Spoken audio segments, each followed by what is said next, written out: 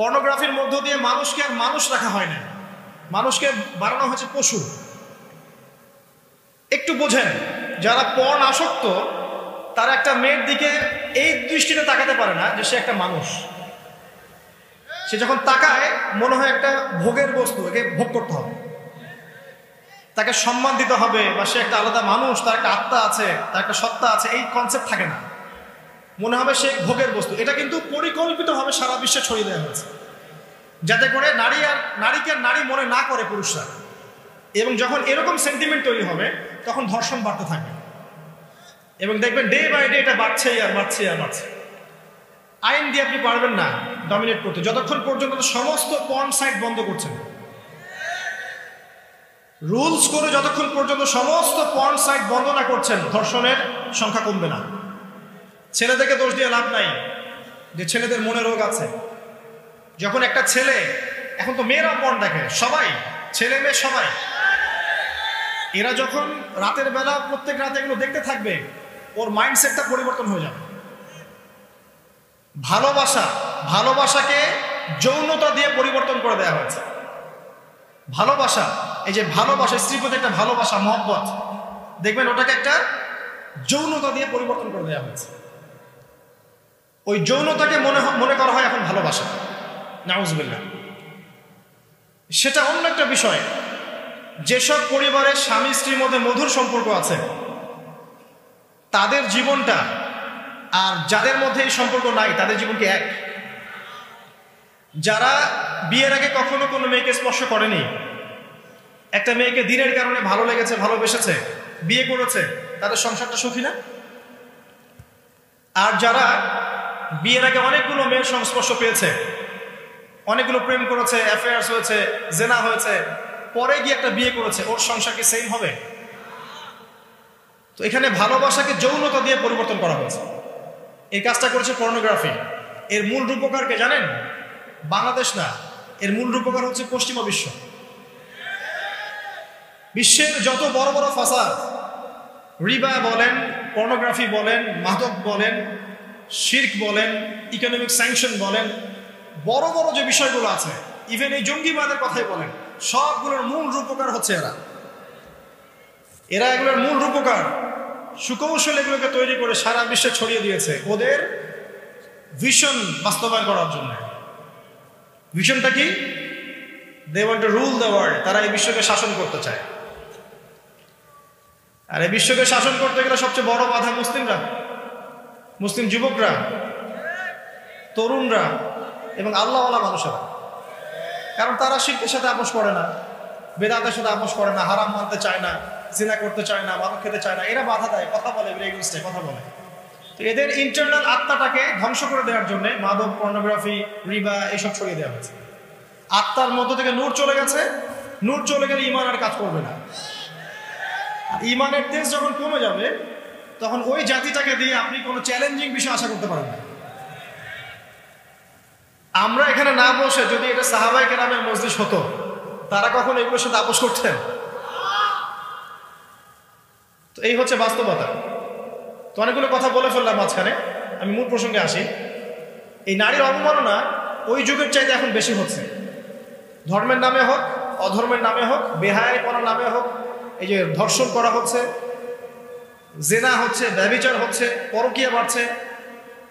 Get up dress up দেখলে তো মনে হচ্ছে মাসা আল্লাহ সবাই হুর পড়ি নাকি? আরেকটা কথা বলি, কষ্ট করে যে কিছু ডিজিটাল পর্দাও আছে এখন, যেগুলো সমাজে মুসলিমদের মধ্যে ফেতনা ধরছে বেশি। খাস পর্দা করুন, করার মতো করে। পোশাকটা এমন হবে না যে পোশাকটা দিয়ে গায়ের কাঠামো বোঝা যায়, এক নাম্বার। দুই নাম্বার, পোশাকটা এমন হবে না যে পোশাক পরার পরে গায়ের রং বা গায়ের এই যে স্কিন দেখা যায়, আমার এখান থেকে এই অংশ, স্কিন দেখা যাচ্ছে কি? এটা পর্দা। এটা পর্দা নয়। কাপড় এমন হবে না যে আপনি মেয়ে হয়ে ছেলে পোশাক পরছেন, এমন কাপড় পরা যাবে না।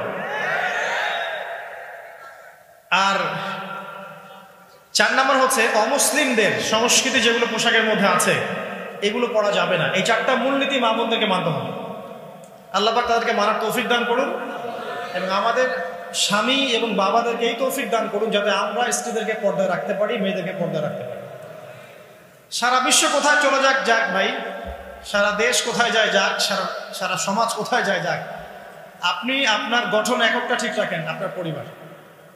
তবে যখন সমাজ কলুষিত হয়ে যায়, তখন পরিবারও ঠিক থাকে না। কারণ আমাদের পরিবার তো সমাজের অন্তর্ভুক্ত। পরিবার হচ্ছে একটা সমাজের গঠন একক। তো সমাজ যদি কলুষিত হয়, তখন একা একা তো ভালো থাকা যায় না। তাই ভালো মানুষদের সংস্পর্শে থাকতে হয়। আল্লাহ বলাদের সংস্পর্শে থাকতে হয়।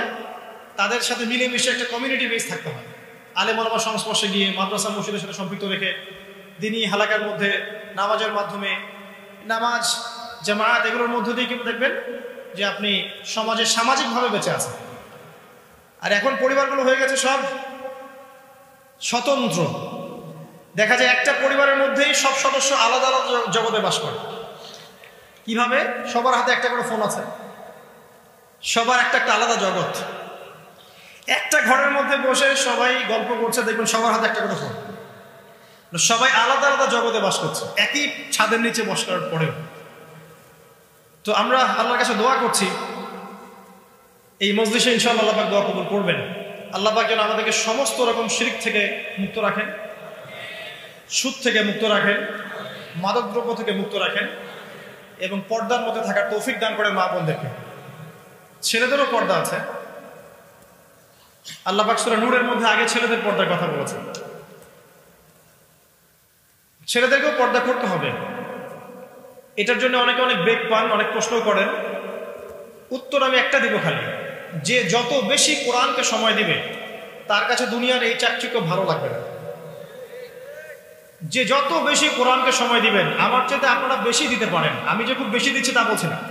এখানে অনেক উপস্থিত মানুষ আছেন, যিনি হয়তো আমার চেয়ে বেশি তেলাওয়াত করেন, আমার চেয়ে বেশি গবেষণা করেন। অনেক বেশি সময় দেন। তো যে যত বেশি সময় দিবেন কোরআনকে, তার কাছে দুনিয়ার নোংরামিগুলো তত খারাপ লাগবে। আপনার নজরকে হেফাজত করা ইজি হবে আপনার জন্য। এর পাশাপাশি একা একা থাকবেন না। তিনি ভাইদের সাথে মিলেমিশে থাকবেন, একাকি ঘুমাবেন না।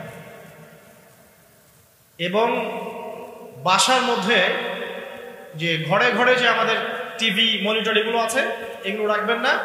সবাই যেখানে বসেন, ডাইনিং রুম সেখানে রাখবেন। যাবতীয় পর্ন সাইটগুলোকে ব্লক করে রাখবেন। আপনার ফোন থেকে এটা করা যায়। পাঁচ অক্ট নামাজ টাইম টু টাইম পড়বেন।